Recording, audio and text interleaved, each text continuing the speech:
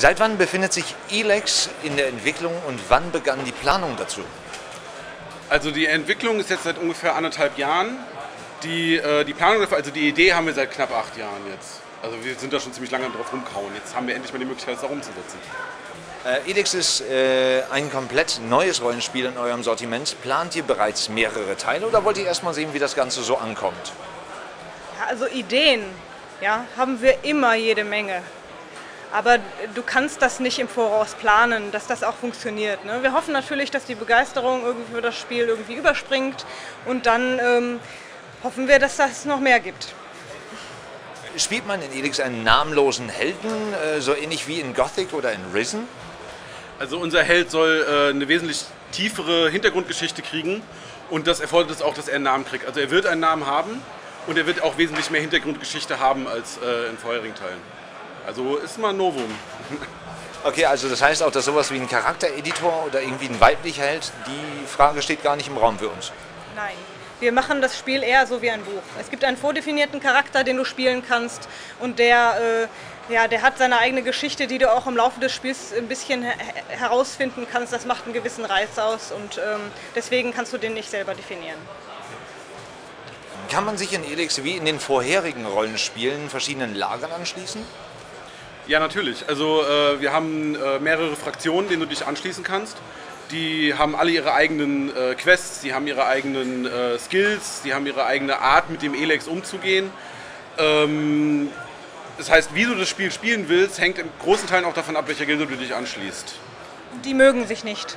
Die mögen sich nicht, ja. Die können sich untereinander überhaupt nicht leiden. Also wenn du dich einer Gilde anschließt, kann es sein, dass eine andere Gilde eventuell pissig auf dich reagiert. Wie im wahren Leben. Was könnt ihr uns allgemein zur Welt von Elix sagen? Äh, wie dürfen wir uns einen Ritt durch die, äh, durch die Postapokalypse vorstellen? Es gibt ähm, im Grunde genommen drei Dinge, die eine große Rolle spielen. Es wird eine sehr große, freie Welt, die ich immer frei erkunden kann. Da das Ganze lange nach einer Apokalypse im Grunde genommen spielt, nach einer Katastrophe, einem ähm, Meteor, der die Welt traf, gibt es noch Dinge aus der alten Welt. Wir befinden uns ja aber viele Jahre danach und einige haben sich der Natur verbunden, spielen mit Schwertern. Das ist so der Fantasy-Teil und ähm, auf der anderen Seite gibt es noch Technologie, die weiterentwickelt wurde. Das Elex, das neue Element, das auf die Erde gekommen ist, kann man nutzen, um Technologien voranzutreiben. Das ist so der Sci-Fi-Teil in, dem, äh, in dem Spiel. Und du wirst natürlich alle Elemente und Assets in dem Spiel wiederfinden. Ähm, die Welt von Elex ist auch äh, eine simulierte Welt im Gegensatz zu einer inszenierten Welt. Also wir haben äh, sehr viel Wert darauf gelegt, dass die, äh, dass die Welt von Elex sehr lebendig wirkt und dass du zu keiner Zeitpunkt aus dieser Welt rausgerissen wirst. Deswegen auch der komplette Kontinent, der am Stück stattfindet, der äh, äh, größtenteils komplett ohne Ladezeiten ist. Du wirst dich von einem Ecke zu, zur anderen bewegen können, ohne einmal laden zu müssen. Du kannst in Häuser reingehen, ohne zu laden. Und äh, mit simulierter Welt meine ich, dass äh, der, es gibt einen Tag-Nacht-Wechsel, die NPCs äh, gehen tagsüber äh, irgendwie mal in der Mittagspause ein trinken, tagsüber arbeiten, nachts ins Bett und äh, so dass ich als Spieler damit spielen kann, ohne dass das wirklich eine Quest ist oder sowas, sondern einfach, ich sehe, was die NPCs tun und kann darauf reagieren. Wenn jemand nachts schläft, kann ich die Scheiße aus seinem Haus rauslooten.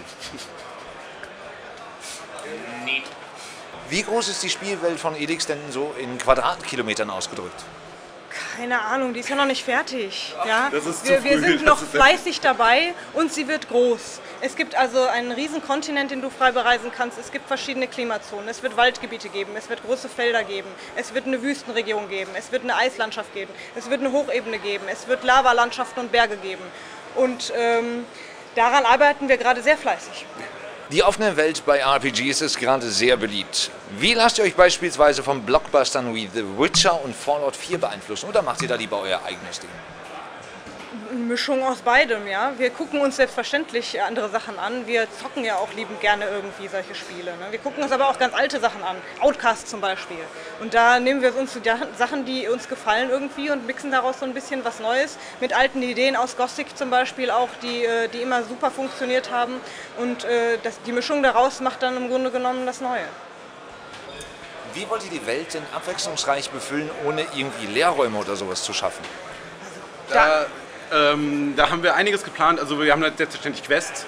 Die, wir haben Quest-Hubs wie Städte und Lager und sowas. Wir haben äh, Quests, die überall in der Welt verteilt sind. Aber wir wollen auch noch was machen, was äh, wir vorher nicht so oft gemacht haben. Wir haben es gemacht, aber nicht so häufig. Wir wollen mehr Geschichte über die Welt selber erzählen. Also das zum Beispiel, äh, stell dir vor, irgendwo ist eine Ruine, die ist verstrahlt, da sind Outlaws drin, die äh, irgendwie da mit Gasmaske rumlaufen und nach irgendwelchen Artefakten graben oder sowas. Die sind dir feindlich gesonnen gegenüber, aber du kommst dahin und diese Location erzählt eine Geschichte von sich aus, ohne dass wir einen, einen Dialog schreiben müssen. Oder dass irgendwo, ich meine, ein blödes Beispiel, irgendwo liegen äh, Schlafsäcke rum, die blutig sind. Da kann man sich sofort vorstellen, oh, da ist irgendwas passiert, was mag da passiert sein? Vielleicht kann man dann noch irgendwo ein Audiolog finden oder irgendwie ein Buch oder irgendwas, dass man irgendwie äh, Geschichten erzählt, ohne Geschichten zu erzählen. So ein bisschen. Und damit würden wir gerne die Welt füllen. Das ist so der Plan, wie wir das Erfolg kriegen wollen. Darüber hinaus wollen wir auch mit so, ich sag mal so View-Spots arbeiten. Ja? Das, äh, wir haben ein neues Feature im Spiel, das ist das Jetpack. Das bedeutet, du äh, kannst dich äh, vertikal auch bewegen und höhere Ebenen erreichen. Das heißt, du kannst sehr weit gucken und äh, äh, Teile im Level sollen dich neugierig machen. Die komplette Welt ist wieder ähm, handcrafted, ja, wir befüllen jede Truhe selbst, äh, verteilen unsere Sachen selbst und äh, wenn du vom Weiten irgendwie was Seltsames siehst, irgendwie einen alten Förderturm oder so ein Kram, das, das Ding soll an sich schon neugierig machen, dass du dahin möchtest und dann erzählt es seine Geschichte. Wo wir gerade bei dem Thema Crafting sind, also Crafting wird es geben, definitiv. Selbstverständlich, ja. ja. Als Wie es genau Rollenspiel. aussieht. Ja, wir wollen das ein bisschen erweitern. Ähm, aber es ist noch nicht final. Ja? Das heißt, du wirst selbstverständlich ähm, mehr, also wir wollen, dass du mehr Items in der Welt findest, die du fürs Crafting benutzen kannst, dass es etwas einen, einen höheren Gehalt hat und äh, du wirst natürlich auch deine Waffen modifizieren können und so Sachen, aber in welcher Art und Weise müsst ihr noch ein bisschen warten. Wie sieht es aus mit Reittieren und Transportfahrzeugen? Was erwartet uns da? Äh, ja, also es gibt verschiedene Arten der ähm, Bewegung. Also neben dem Laufen hatte ich ja gerade das Jetpack erwähnt. Das wird das Movement völlig beeinflussen. Das heißt, du brauchst kein Pferd, wenn du ein Jetpack hast. Ja, das ist einfach was anderes. Und du hast auch keinen Bock mehr, diesen Weg runter zu laufen, wenn du das so machen kannst. Ähm, darüber hinaus, äh, über längere Strecken wird es natürlich auch eine Art von Teleportern geben, die aber nicht alle von vornherein freigeschaltet sind, sondern du musst erstmal die Welt erkunden und die freischalten, dass du über Fernreise das auch benutzen kannst. Und äh, darüber hinaus, hm, schauen wir mal. Wird sich zeigen. Ja. Okay. Auf welcher Engine arbeitet Elix denn generell? Ähm, wir arbeiten mit unserer eigenen Engine, die wir jetzt seit 2003 äh, entwickeln. Damit wurde auch, ich glaube, Gothic 3 schon gemacht, äh, Risen 1, 2 und 3 natürlich. Wir haben die sehr stark aufgebaut jetzt für, für Elex mit den ganzen Spielereien, DirectX 11, Volumetric Lightning, äh, äh, Bokeh Depth of Field, den ganzen modernen Schnickschnack, den man heutzutage in einem, äh, in einem guten Spiel erwartet irgendwie. Äh, haben wir alles drinne und das wird auf jeden Fall gut aussehen. Wir haben ein äh, World Streaming, was uns äh, äh, erlaubt, wirklich die ganze Welt am Stück zu machen, was mit einer anderen Engine eventuell nicht möglich gewesen wäre. Aber bei uns geht es jetzt. Wir machen auch alle Konsolen-Versionen in-house diesmal. Ja? Also die PS4-Version läuft schon ähm, und darüber hinaus äh, wird es neben PC auch eine Xbox One-Version geben, die wir in-house machen, damit wir möglichst ähm, äh, darauf hinarbeiten, dass die zeitgleich dann auf den Markt kommen. Also alle, alle Plattformen quasi zeitgleich released. Richtig. Alle, die wir anpeilen. Ja, also die drei. Die drei. Ja, also, also die älteren Versionen Ja. lohnt sich wahrscheinlich noch. Das wollte ich Vermuten wir auch. Einige Spieler haben sich darüber beklagt, dass in den bisherigen Rollenspielen das Kampfsystem sehr rustikal gewesen ist. Wie wird das jetzt bei Elix sein? Also wir sind äh, sehr weit mit dem Kampfsystem jetzt schon, das waren wir noch nie. Wir haben jetzt, äh, jetzt schon ein, äh, äh, ein Kampfsystem, was sehr gut funktioniert und wo wir jetzt noch ewig viel Zeit haben, das zu polischen. Wir hatten noch nie so früh in einem Stadium so ein ausgereiftes Kampfsystem.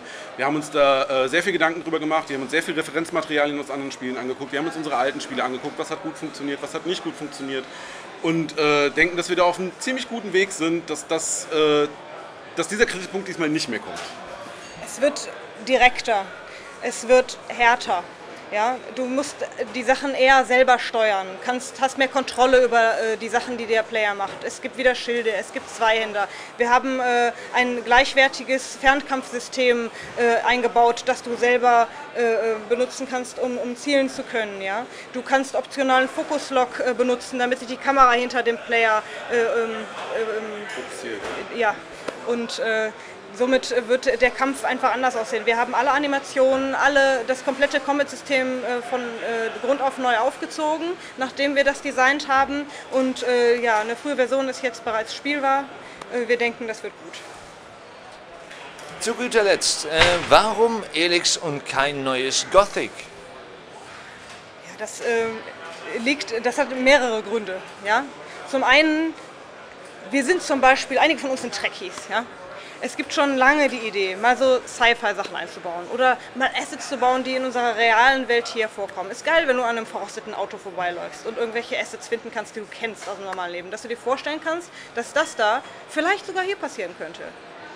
Man weiß es nicht. Das ist so ein Reiz, dass wir verschiedene Sachen, wir lieben äh, das Fantasy-Szenario und wollen jetzt mehr.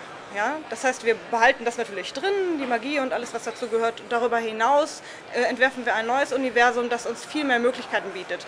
Darüber hinaus ist es einfach spannend, auch für, für die Leute da draußen, dass wir etwas äh, Neues entwickeln, was es so vielleicht in der Art nicht gibt, äh, eine neue Rollenspielerfahrung zu haben.